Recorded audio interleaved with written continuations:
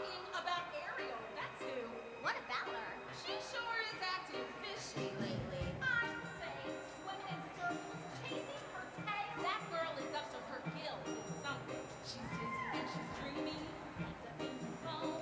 Eyes are kind of bleary. It's like there's no hope. She floats away the days, moving up the coastal shelf. You ask her where she's going. She giggles like a fool. She barely